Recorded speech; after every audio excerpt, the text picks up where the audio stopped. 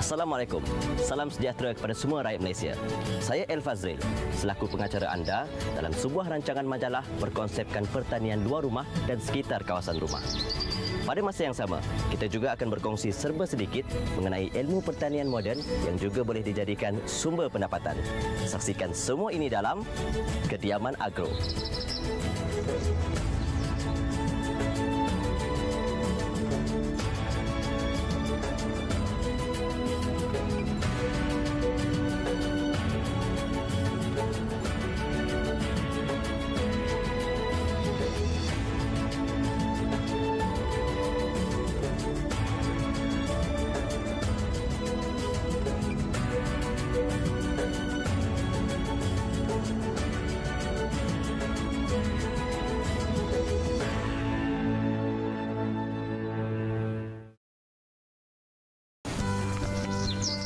Pertanian dan ternakan adalah salah satu dari perniagaan.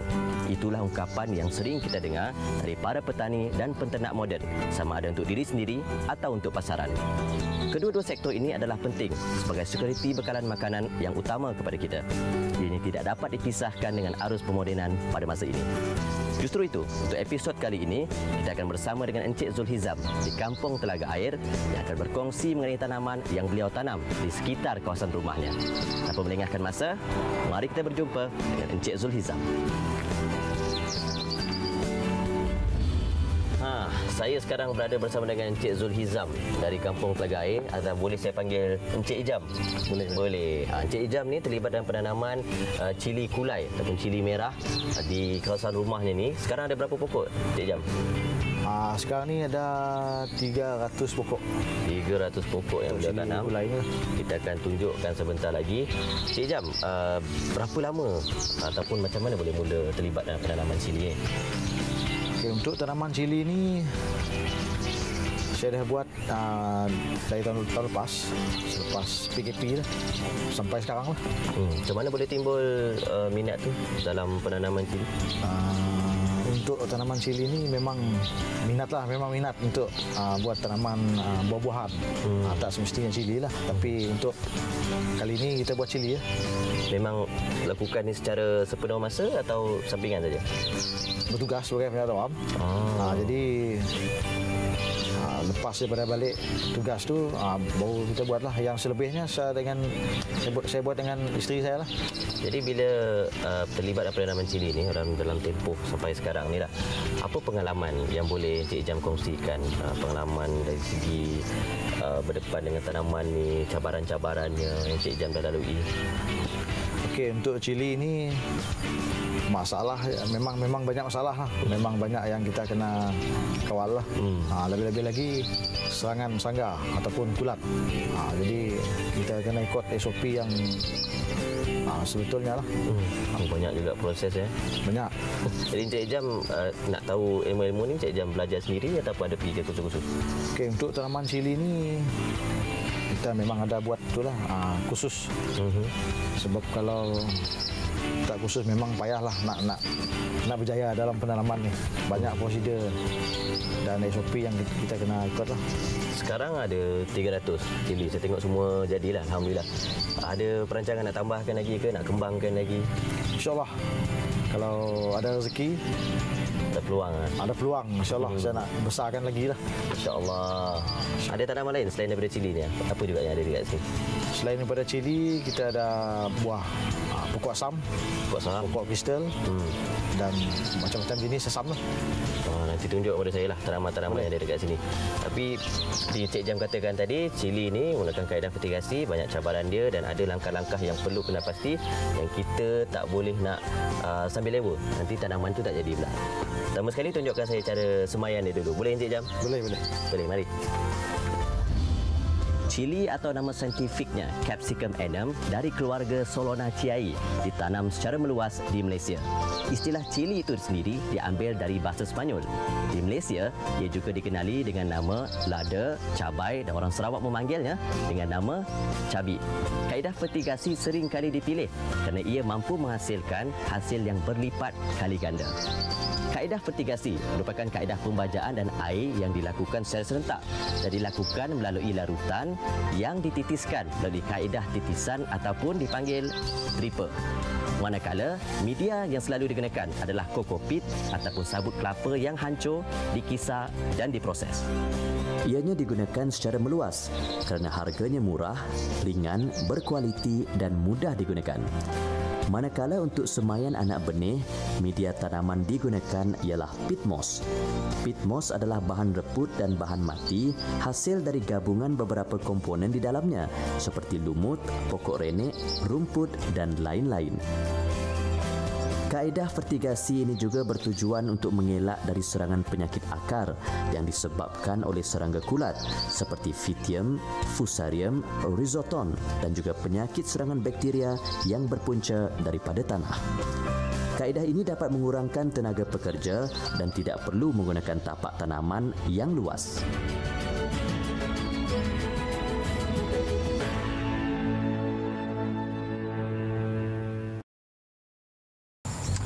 Khusus bagi golongan pemula, sangat penting untuk ketahui ilmu-ilmu bagaimana cara menyemai anak pokok. Ha, pokok cili ni, Cik Ijam nak tunjukkan kepada kita cara menyemai dia. Pertama sekali, apa yang perlu ada Cik Ijam? Okey, untuk uh, penanaman cili ni untuk semayan kita kena ada ni uh, pit moss. Uh, pit moss ni, uh, media senam uh, semayan dia adalah pit moss ataupun uh, lumut gambut. Lumut yang uh, reput dan dikeringkan. Ini satu media senaman yang antara semayan yang paling baik lah. Hmm. Seterusnya? Pit moss, uh, biji benih. Biji benih, uh, ini digunakan uh, biji benih jenis hybrid daripada India yang biasa terdapat di negara ni. Seterusnya? Uh, ni, uh, tray semayan lah. Tray semayan. Ini biasalah kita gunakan untuk semayan. Seterusnya dan... Okey, untuk step yang utama sekali, kita kena simpan uh, pit moss ni di dalam bekas ni. Itu yang pertama, pit moss simpan dalam bekas. Okey kita gaul rata. Uh-huh. Pit moss ni baik eh sebab dia uh, menyimpan air, boleh mengekalkan uh, nutrien air, kelembapan air.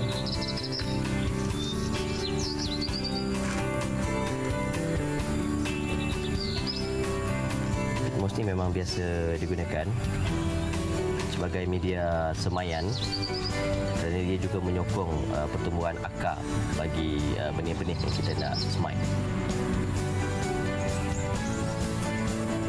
Okey. Ikut ni lah. Setengah, uh, setengah ada tak, Tidak terlalu dalam lah. Setengah daripada jari kita ni. Hmm. Kita buat lubang. Benih jenis hybrid ni biasa digunakan di negara kita kerana ia cepat uh, mudah nak dihancurkan untuk kita jadikan sos. Okay, biasanya satu lubang ni kita simpan satu ke dua biji benih lah. Hmm simpan. Dua biji pun boleh? Ya? Boleh. Kalau lebih daripada itu boleh? Kalau lebih, masalah nanti bila dia dah, dah, dah dipindah ke dalam polybag. Apa masalah yang boleh berlaku kalau kita letak lebih? Contohnya dalam tiga ataupun... Kalau kita bagi lebih, uh, susahlah nanti dia kalau dah besar nanti, hmm. pokok dah besar dia akan berebut uh, baja ataupun nutrien juga. Ha, mendatangkan masalah. Tutup balik lubang kita buat tadi tu. Hmm. Okey, lepas habis ni. Okey. Kita bagi dia lembap sikit lah. Kita siram dia dengan air kosong lah. Berapa peratus uh, kelembapan air yang boleh kita gunakan untuk semayan? Okey, untuk siraman ni kita kena sembur sehingga 70% lah. 70%? Eh? Ha. Agak basah lah. Hmm. Air dia kena cukup kan untuk pastikan benih dia tu uh, disemai. Okey, dah selesai uh, kita siram air. Uh-huh. Dia dah uh, basah uh, 70% lah uh, pit moss tadi. Baik. Yang terakhir sekali kita simpan di dalam ni. Okey. Uh, sebelum kita simpan di rumah semai, kita akan simpan dia dalam uh, bekas plastik gelap lah. Kita ambil dulu. tujuan dia untuk uh, mempercepatkan uh, pencambahan lah pencambahan oh. pokok. Okey. Dan Simpan di tempat gelap lah. Ah, simpan tempat di, gelap. di dalam tanah. hmm, kita akan ikat elok dan kita simpan dia sampai 5 ke 7 hari lah. Lima ke tujuh hari. Ada ni ni sebelum sebelum tu kita simpan di dalam rumah semai lah. Hmm. Ha, Lepas dibalut, kita akan uh, simpan ke rumah semayan dan biar sehingga lima ke 7 hari. tujuh hari. Kita tengok bagaimana hasilnya selepas. Baik, ini kita dapat saksikan uh, kalau selepas berapa hari kita boleh jadikan dia dalam tengok dalam keadaan macam ni, Cik Jam. Biasanya uh, selepas daripada uh, kita keluarkan dia daripada uh, bekas plastik tadi, Mhm. uh, kita akan tengok uh, sehingga 5 ke 6 hari lah, ke 7 hari. enam hari. Dia akan keluar dan beginilah. Ah, Cik Jam, bagaimana pula dengan cara pembajaan dia? Kalau berumur begini dah uh, dalam 12 hari dan adakah perlu terus dibajakan selepas kita keluarkan dia tadi? Okey, untuk pokok yang ni yang berumur 12 hari kita dah start sembuh dia menggunakan itulah uh, semburan uh, baja AB Baja IB. uh, dengan kadar isi 1.2 lah ikut uh, umur pokok anak pokok. Mhm. Uh, semakin naik umur pokok bacaan isi dia pun naik juga. Hmm. Uh, ikut perkembangan pokok lah. Baik, uh, berapa lama pula uh, kita perlu untuk uh, dia kita pindahkan ke dalam polybag? Okey, sebelum kita pindah ke polybag, uh, kita kena pastikan anak pokok ni, anak benih ni Mhm. sehingga uh, SSS 28 ke 30 hari lah. Ah, baru- adalah hari hari selepas semai. Hari selepas semai. Baru kita boleh pindah ke ke dalam polybag lah. Okey, baik. Sekarang kita nak tunjukkan bagaimana cara menanam uh, benih ni tadi di dalam polybag. Biji benih yang bercambah perlulah dijaga dengan rapi serta memberi baja yang bersesuaian sehinggalah ia berumur 20 hari. Selepas anak-anak pokok cili berumur 20 hari, barulah dipindahkan ke dalam polybag yang berisi kokopit iaitu sabut kelapa yang diproses dengan nisbah dua anak pokok di dalam satu polybag. Kemudian, cucuk alat sistem pengairan titis atau dikenali sebagai dripper di sebelah anak pokok itu dengan jarak lebih kurang 2,5 inci. Pastikan jangan terlalu dekat dengan anak pokok itu. Ini kerana apabila air baja terkena pada batang boleh menyebabkan melecuh dan akhirnya anak pokok itu mati. Uh, sebelum kita pindah lah, kita kita kena clearkan kawasan tapak kebun. Uh, kita kena sebur uh, racun kulat dan serangga lah. Uh, sebelum uh, Tanam. uh, sebelum kita nak masukkan dia ke dalam tu lah. Untuk mengelakkan daripada kena serangan uh, serangga dan kulat lah. Serangga ataupun perosak yang jenis macam mana kalau tanaman cili ni biasa ni? Okey, untuk di awal awal usia pokok ni selalu yang serang adalah uh, ser- serangga hmm. uh, jenis kutu trip, Kutu trip. uh, hamama dan yang paling senang sekali nak kena serang uh, pokok uh, penyakit ni kerinting Nanti. uh, dan trip. Uh, tu yang kita kena jagalah. Bagaimana kita nak tahu uh, pokok tu dah sudah terkena uh, serangga perosak?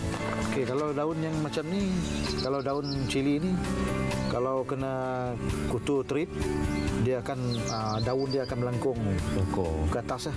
Oh, ber- macam sampan dia. ah, macam sampan. Hmm. Ah, kalau untuk hamama pula, ah, daun dia akan melengkung ke bawah Hmm. dan dia ah, bertukar warna menjadi hijau gelap lah. Hmm. Bila terjadi begitu, masih sempat dirawat? Tengok keadaan pokok lah. Ah, bagi kalau kalau saya kalau untuk keselamatan pokok lain kita kena keluarkan dia daripada kebun lah. Kita rawat dia, kita cuba rawat dia. Hmm. Sebab tu sebab tu penting dia tu pencegahan daripada merawat lah. Betul, daripada awal lagi dah kena buat Ah, lah. untuk mencegah dia kita kena sebur racun ikut tu lah. Ah, ikut jadual. Contohnya seminggu dua kali. Hmm. Dari segi pembajaan Cik Jam, macam mana dia dilakukan? Pembajaan okey, start daripada kita pindah ni poli, eh, anak pokok ke polybag. Baja terus jalan. Terus jalan. Hmm. Baja AB. Kita akan drip dia dua jam sekali lah. Ah, bermula daripada 6 pagi Hmm. sehingga 6 petang lah. Okey. cakap mengenai pembajaan ni, kita tengok bagaimana uh, Encik Ijam uh, dia punya sistem pengairan dan saliran dalam uh, membaja kawasan-kawasan tanaman menggunakan kaedah fertigasi ni. Mari kita tengok. Baik,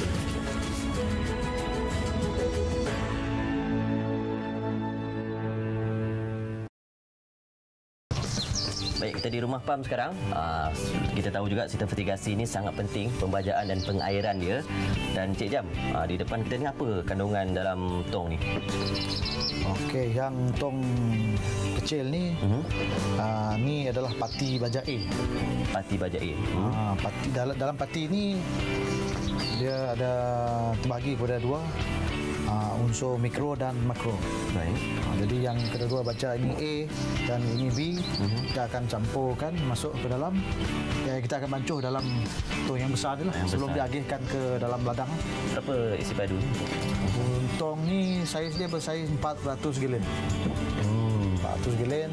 Kalau kita nak bancuh baja AB, kita kena ambil dalam 15 liter A dan 5, 15 liter B untuk dicampurkan dalam satu tong ni hmm. sebelum diagihkan ke ladang.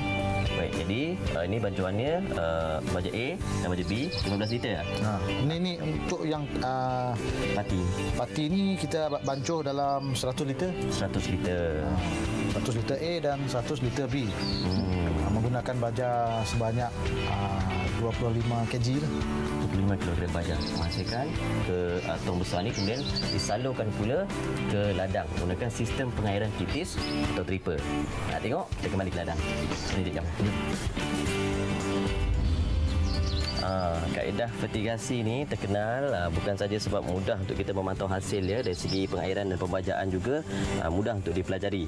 Ha, jadi ha, sekarang ni menggunakan kaedah pengairan titis untuk ha, pokok ni dah berusia berapa lama agak-agak ni Cik Jam? Kalau untuk pokok ni lebih daripada tiga bulan dah. Tiga bulan ha. akan jadi macam ni. Baik apa kaedah Cik Jam boleh kongsikan mengenai kaedah pengairan ni menggunakan teknik dripper? Okey, untuk fertigasi ni kita akan menggunakan uh, beberapa peralatan lah uh-huh. seperti HDPE pipe, uh, micro tube, micro tube. Ini dipanggil micro dan tube. dripper. Okay. Dripper yang jenis ni lah. Dia banyak lagi jenis sebenarnya, tapi uh saya guna yang jenis ni lah. Baik. Jadi yang micro tube ni kita akan uh, cucuk di bahagian uh, HDPE pipe ni lah. Uh-huh. HDPE pipe dan kita akan masuk ke micro tube ni. Baik. Uh, masuk ke HDPE pipe dan seterusnya uh, dripper ni kita akan masuk ke dalam uh, media ni lah. Hmm. dalam kokopit. Baik. Dan, dan uh, sistem baja dia akan kita akan setting dia secara auto lah setiap hmm. jam sekali. Oh mudah lah. Uh, mudah. Baik ada apa perkara penting juga perlu kita pantau dalam tempoh dia uh, begini? Okey, dalam tempoh uh, sehingga ke ni uh, anak pokok ni lah. Hmm. Kita kena jaga dia supaya kadang-kadang kalau guna timer juga hmm.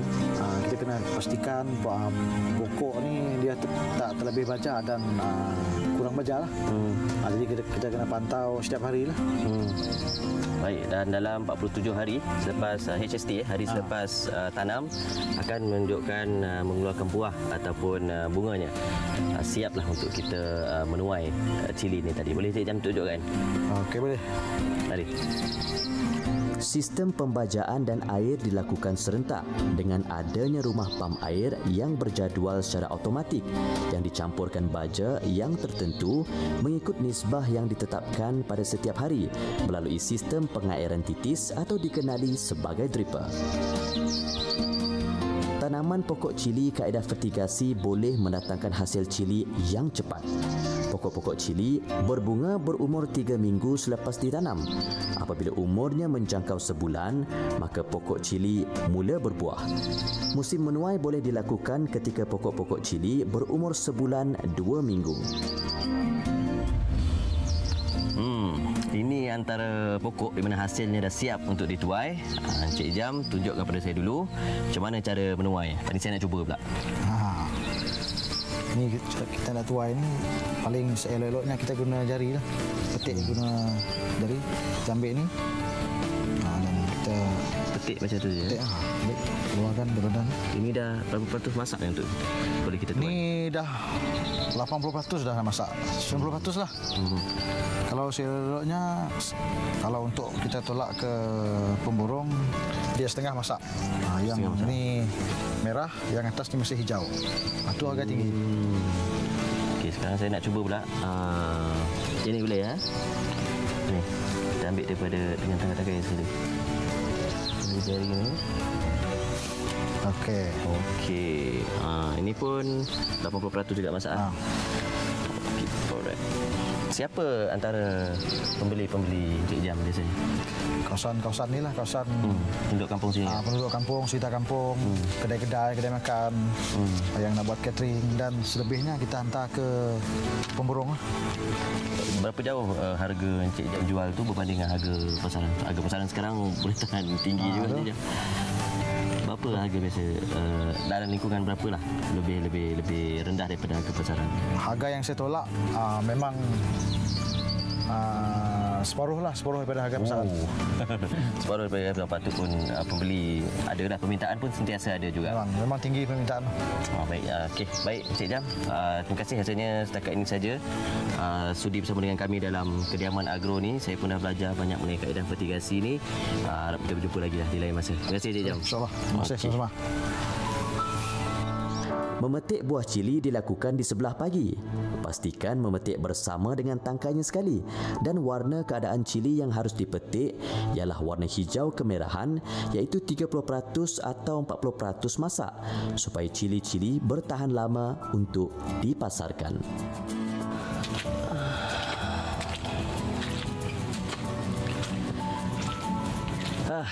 Demikianlah episod Kediaman Agro kali ini bersama dengan Encik Zulhizam berkongsi mengenai tanaman cili yang beliau tanam di belakang rumahnya. Kita dah dengar sendiri tadi permintaan terhadap cili ini memang konsisten di pasaran. Lebih-lebih lagi harganya pun stabil dan menjadi asas bahan masakan di Malaysia. Sejajar juga dengan pertambahan bilangan penduduk dan penggunaan per kapita yang meningkat di negara kita. Sekian saja untuk episod kali ini. Jangan lupa temu janji kita untuk episod akan datang hanya di Kediaman Agro. Saya nak sambung tuai lagi ni. Thank you.